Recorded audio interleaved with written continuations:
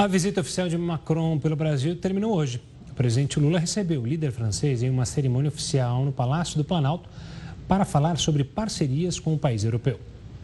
A gente então vai a Brasília falar com a repórter Ariane Bittencourt, que tem mais detalhes sobre esse encontro. Boa noite, Ariane. Como foi a reunião entre Lula e Macron?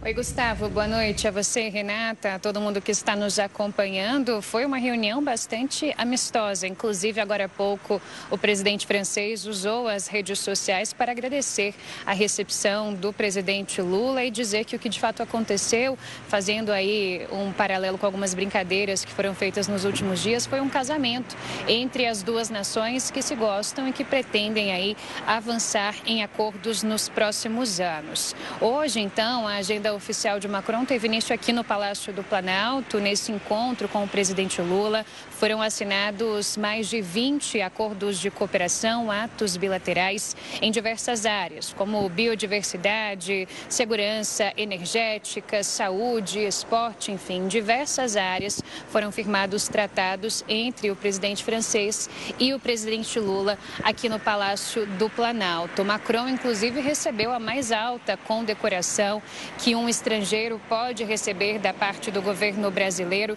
que foi a Ordem Nacional do Cruzeiro do Sul. Ele também condecorou ali a primeira-dama Janja aqui no Palácio do Planalto. Teceu diversos elogios ao presidente Lula, disse que ele, após os atos antidemocráticos de 8 de janeiro do ano passado, ajudou o Brasil a restaurar e reerguer a democracia e também ouviu diversos elogios por parte do presidente brasileiro. Depois desse encontro, encontro aqui no Palácio do Planalto.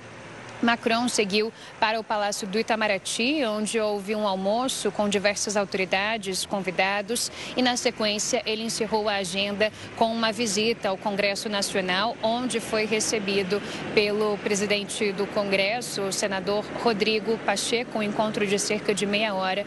E assim se encerrou essa agenda que teve início na terça-feira com a visita de Macron a Belém, no Pará. Depois ele foi ao Rio de Janeiro e na sequência esteve em São Paulo Paulo, onde se reuniu com diversos empresários, também trazendo empresários franceses aqui para o Brasil. O presidente Lula, mais cedo, deu alguns exemplos sobre o teor desses acordos firmados hoje com o presidente francês, falou sobre a situação da Amazônia e sobre o futuro da parceria entre França e Brasil. A gente separou um trechinho do que ele disse. Vamos acompanhar.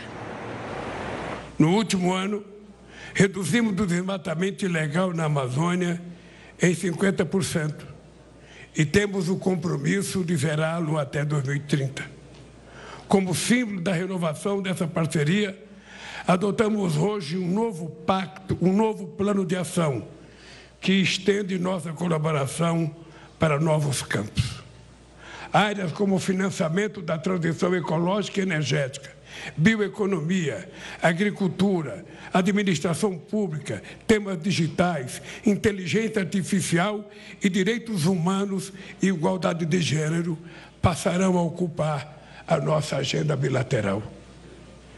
Essa gama de assuntos se reflete nos mais de 20 acordos que celebramos hoje. Examinamos forma de ampliar e diversificar o comércio, que no ano passado alcançou 8,4 bilhões de dólares e que pode e deve crescer muito mais. A França é o terceiro maior investidor no Brasil, com forte presença nos setores de hotelaria, energia e defesa e de alta tecnologia, que gera emprego e renda aqui em nosso país.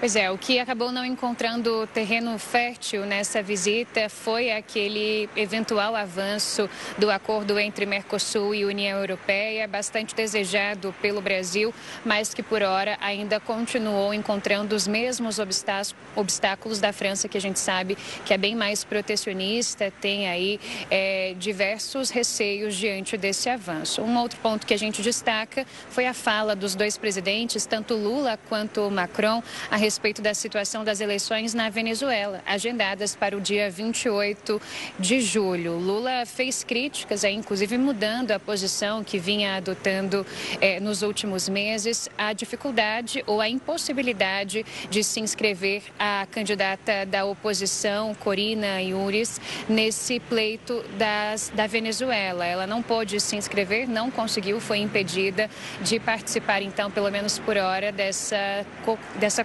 corrida eleitoral no país venezuelano. Lula disse que a situação por lá é grave e que não há explicações políticas ou jurídicas para o que está acontecendo. Macron disse que assina embaixo do que disse Lula e que na Venezuela não estão sendo encontrados sinais de eleições transparentes e democráticas. Volto com vocês. Tá certo. Obrigada, Ariane, pelas suas informações. Uma boa noite para você.